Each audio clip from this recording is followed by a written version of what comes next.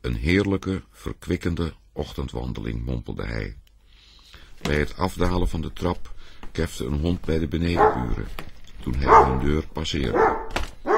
Hij trok de straatdeur zacht dicht en volgde de met ijs bedekte gracht tot de rivier, die, uitgezonderd in het midden, met een donkere ijslaag was toegevroren. Er was weinig wind. Het was nog niet goed licht, maar de straatlantaarns waren al uit. Op de dakgoten zaten rijen meeuwen. Hij wierp het laatste stuk van het kadetje, dat hij tot een balletje had gekneed, op het ijs. En tientallen van de vogels daalden neer. De eerste die het wilde oppikken miste.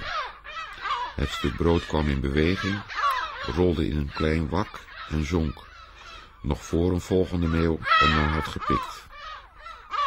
Een kerktoren gaf één slag. Een vroege dag, een welbesteden dag wordt het, dacht hij, rechts afslaand en de rivier oevervolgend. Het is koud en vroeg en niemand is nog buiten, maar ik wel. Hij liep de grote brug over, om het zuidelijk station heen en wandelde onder het viaduct door terug. Het is uitstekend, s morgens heel vroeg te wandelen, zei hij bij zichzelf. Men is buiten geweest, voelt zich fris en krijgt een goed humeur.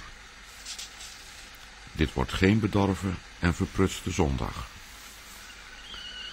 Toen hij de gang weer binnentrad, zong er water in de keuken. In de huiskamer vond hij zijn moeder bezig met het gereedmaken van de ontbijttafel. Je bent waarachtig niet laat, zei hij. Vader heeft een bevlieging, antwoordde ze. Hij wou vroeg opstaan en vandaag hard werken. Frits keek haar scherp aan. Haar gezicht stond effen. Zijn vader kwam uit de keuken binnen in borstrok en met zijn bovenbroek reeds aan. De bretels hingen tot op de grond. Zijn gezicht was nog vochtig. Morgen, vader, zei Frits. Hij had het gevoel alsof hij voor het uitspreken van deze woorden door de hele luchtpijp een steen omhoog had moeten duwen, die nu voor zijn voeten viel. Morgen, mijn jongen, antwoordde zijn vader. Ze gingen aan tafel. Ik moet opletten, dacht hij. Ik moet scherp toezien. Van het eerste ogenblik dat zijn vader begon te eten, bleef hij naar hem kijken. Hij koudt zonder geluid, dacht hij, maar de mond gaat er telkens bij open. Hij bekeek de nek en voelde woede in zich opstijgen. Zeven fratten, zei hij bij zichzelf. Waarom heeft hij die nooit laten wegnemen? Waarom althans niet die dingen weg? Zijn moeder schonk thee in. Bij het drinken slurpte ze zacht. Zijn vader bracht het kopje maar halverwege de mond tegemoet. Hij stak het hoofd vooruit, spitste de lippen en dronk luid. Heb je wel naar de kachel gekeken, meisje? vroeg hij. Ja, antwoordde Frits moeder, hij praat al. Zijn vader kleedde zich toen ze klaar waren in de achterkamer verder aan en ging na een diepe zucht in een stoel bij de kachel zitten met een boek in de hand.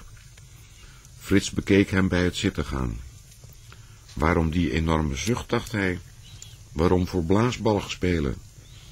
Hij keek naar het hoofd met het zwarte, hier en daar vaal gekleurde haar dat achterover was gekamd, de dikke lippen van de mond, die vermoeid glimlachten, en de bruine handen met korte, dikke vingers, die langzaam, maar voorzichtig tasten, de bladzijde omsloegen.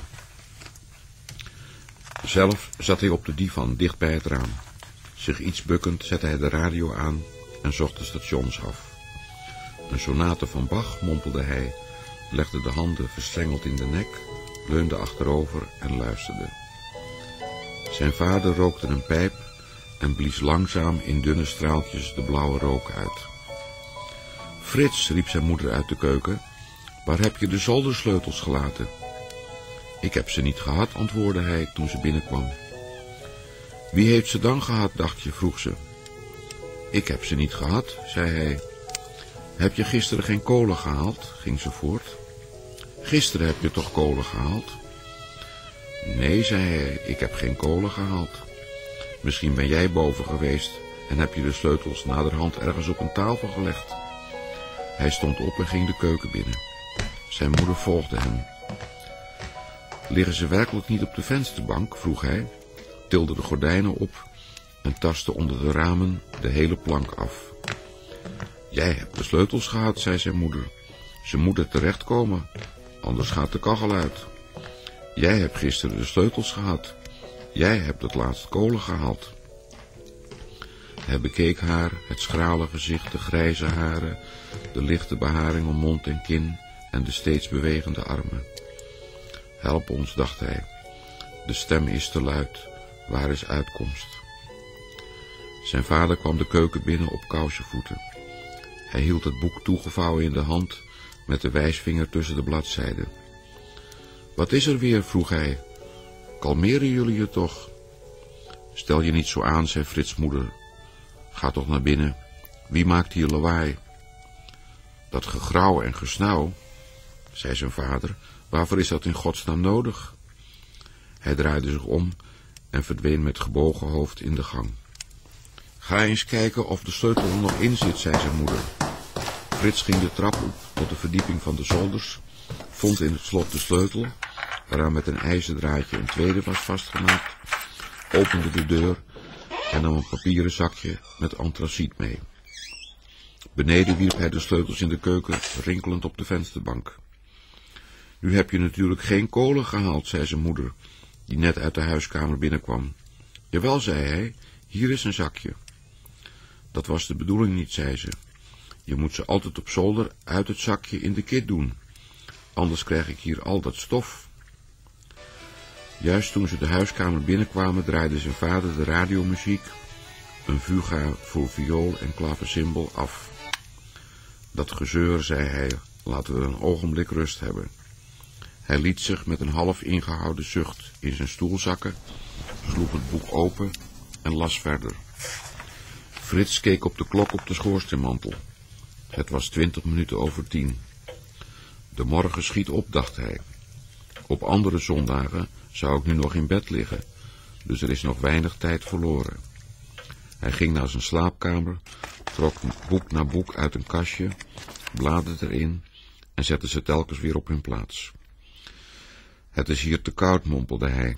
Hij keerde naar de huiskamer terug, nam een krant uit het rekje en ging bij het raam zitten.